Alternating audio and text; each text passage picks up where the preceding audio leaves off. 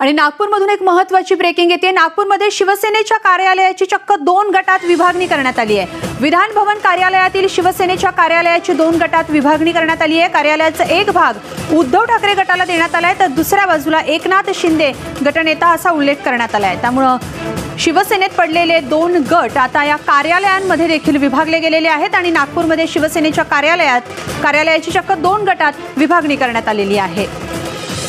गेल्या काही दिवसातला हा शिवसेनेतल्या दोन गटातला संघर्ष आता नागपूरमध्ये देखील पाहायला मिळतोय.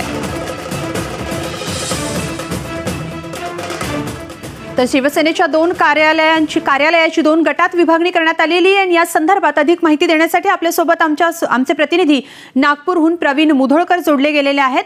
प्रवीण शिंदे गटातला आणि श- उद्धव ठाकरे गटातला वाद आता कार्यालयात दिसून आलेला आहे. आणि इथं चक्क कार्यालयाचीच विभागणी करण्यात आलेली आहे. काय अधिक तपशील?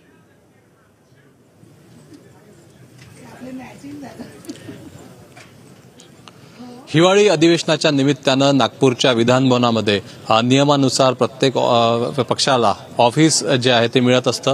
आणि मी आत्ता ज्या ठिकाणी आहे हे शिवसेनेचं ऑफिस आहे. आणि यापूर्वी शिवसेनेला हे ऑफिस मिळत होतं पण आता शिवसेनेचे दोन भाग झाले. त्यामुळे या ठिकाणी दोन गट जे आहेत ते या ऑफिसचे करण्यात आलेले आहे या प- परिसरात आता पहिली पार्टी जी दिसते आहे ती मुख्यमंत्री श्री एकनाथ शिंदे गटनेता शिवसेना पक्ष असं लिहिलेलं आहे. आणि या परिसरामध्ये दुसरी पार्टी जी आहे ती दुसरी पार्टी दुसऱ्या गटाची आहे. ती पार्टी शिवसेना विधिमंडळ पक्ष कार्यालय असं दिलेलं आहे. त्यामुळे आता या ठिकाणी दोन गट जे आहेत ते या दोन करण्यात आलेले आहेत पण पक्षाचं नाव इथे लिहिण्यात आलेलं नाही आहे कारण की जरी शिवसेनेच्या दोन गटांची नावं ही वेगवेगळी झाली असली बाळासाहेबांची शिवसेना आणि उद्धव बाळासाहेब ठाकरे या- असे दोन पक्ष असले तरी त्या पक्षांची नावं इथं लिहिण्यात आलेली नाही आहे कारण की अधिकृत निवडणूक आयोगाकडे या संदर्भामध्ये रीतसर नोंदणी जी आहे ती अशा नावाची झालेली नाही आहे त्यामुळे दोन गट जे आहे गटनेता शिवसेना पक्ष आणि या परिसरामध्ये दुसरी एक पार्टी त्यामुळे मुख्यमंत्री एकनाथ शिंदे यांच्या नावाची पार्टी गटनेता शिवसेना पक्ष म्हणून लावण्यात आलेली आहे. त्यामुळे शिवसेनेला च्या गटाला ही हे जे ऑफिस आहे हे ऑफिस देण्यात आलेलं आहे. प्रवीण आज खरं तर नागपूरमध्ये हिवाळी अधिवेशन सुरू होत आहे आणि विरोधक सरकारला घेरणार आहेत. मात्र शिवसेनेतला हा वाद देखील पाहण्यासारखा असेल कारण चव्हाट्यावर आलेला आहे. जर वेगवेगळ्या कार्यालय कार्यालयाची विभागणी होत असेल तर.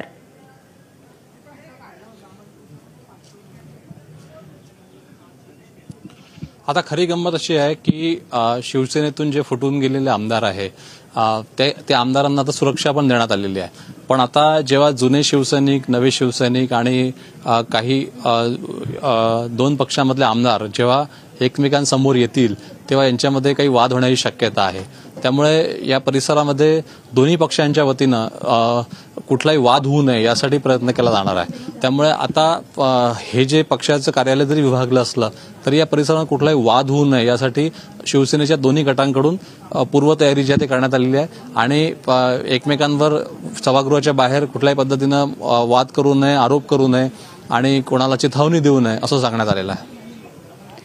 प्रवीण खरं तर आपल्याला माहिती आहे ज्यावेळेस अधिवेशन होतं किंवा इतर कामं होतात त्यावेळेस लोकांचे प्रश्न सोडवावेत अशी मागणी असते तशी अपेक्षा असते.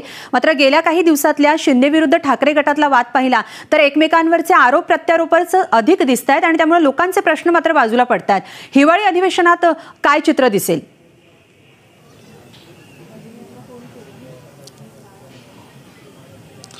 हिवाळी अधिवेशनामध्ये सदुसष्ट मोर्चा आहे. म्हणजे आजपासूनच हा धनगर समाजाचा मोर्चा आहे विदर्भवाद्यांचा मोर्चा आहे. त्यामुळे मोठ्या संख्येनं मोर्चेकरी जे आहेत ते विदर्भाच्या दूर सर्व दूर नागपूरमध्ये येत असतात आणि आपल्या प्रश्नांवरती या मोर्चाच्या माध्यमातून संबंधित मंत्री संबंधित अधिकारी वेळ देतील त्याच्यावर लक्ष देतील मुख्यमंत्री भेटतील अशी अपेक्षा असते.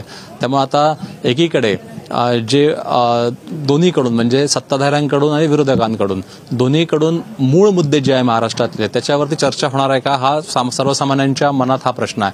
कारण की महापुरुषांच्या अवमानासंदर्भामध्ये ज्या पद्धतीनं विरोधकाकडून आक्षेप घेतले जात आहेत तर दुसरीकडे सरकारकडून सुद्धा जे महत्त्वाचे विषय आहेत त्याचा बगल देण्यात येण्याचा आरोप केला जातोय. त्यामुळे मोर्चे घेऊन जे लोक येतात किंवा सर्वसामान्य बरोबर आहे बरोबर आहे. त्यामुळं मोर्चेकरी आणि इतर प्रश्न जे आहेत ते बाजूला राहतात. मात्र अशा प्रकारे वाद मात्र लोकांना पाहायला मिळतो. या बुलेटिनमध्ये इथंच थांबूया तर प्रवीण तुमचे धन्यवाद. पुढच्या बुलेटिनमध्ये आपण तुमच्याकडून अधिक माहिती घेणार आहोत. नमस्कार.